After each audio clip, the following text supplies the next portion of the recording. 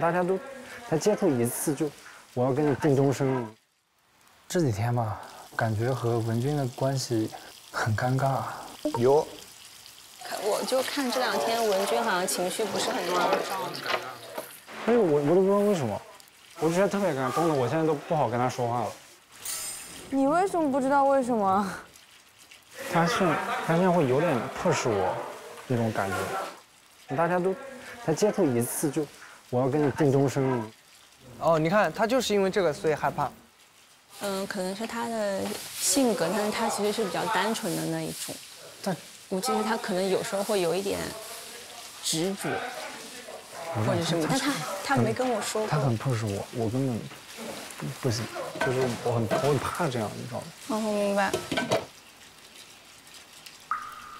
就那天晚上，那我没有写给他，对吧？我写给你了，对吧？我我其实觉得你是应该那天会写给他的。为什么？他他跟我一起吃饭了，我就是，我就觉得其实吃饭就没特别多意思。但是我不是不管不管把写给谁，但是那我我现在反而觉得我幸幸好没有写给他，如果写给他那不得了，就是你就过来就认定一个哇就要偶像剧发展吗？我明白我明白，他可能就是还是之前经历的比较少一点点。就是我很我很怕这样，你知道吗？我明白。不是这什么理论？我真的我不能理解。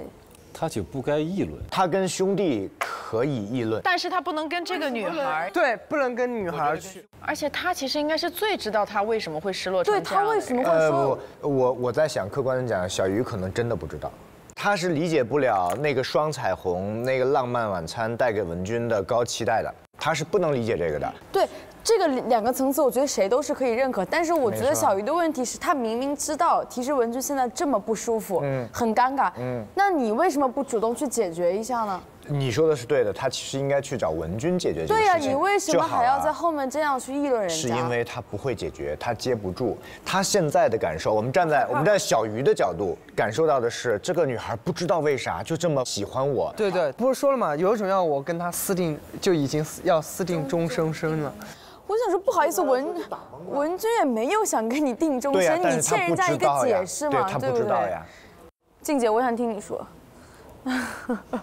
我现在真的很气愤，我觉得这种男的真的是，不好意思，帮我剪掉啊。不用剪掉。我突然想到季科老师第一次的一句话，什么玩意儿？我觉得吧，小鱼觉得他最被 push 的就是那一天，他。要他拉衣服，那天真的我觉得是有一点过了，会会就是上一集，是上一集的时候，文君各种积极主动，然后他就各种否定。因为你要知道，那那个就是他的前一天嘛。对。所以对对他来讲，这个第二天他可能还没有消化到。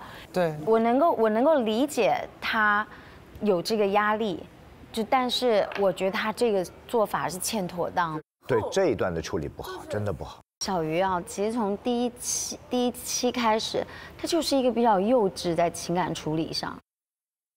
比如说，这些女生是同寝室的，然后你在他的面前去说，他们俩要住一起吧？他俩一个屋啊。所以，首先这一件事情就很幼稚，你必须要扛住这个压力。不管什么理由，你是个男的，你得把这个东西扛起来。我觉得他，而且我觉得还有一个问题是，他为跟丹妮，我是丹妮，我对他，我觉得那么一点点我减分。嗯，所以其实丹丹妮在整个聊天的过程里面，在弱化矛盾，他是一个很得体的做法。对，丹妮真的没有问题。对，小鱼直接就说说这个丹妮说紧，我说这个我想去找这个文君聊一聊。对，小鱼心里不知道该怎么办。小鱼没有想去找他聊这个心，他就想躲，不是他没有这个能力。对，处理事情是需要能力的，他没有处理这个事情的能力。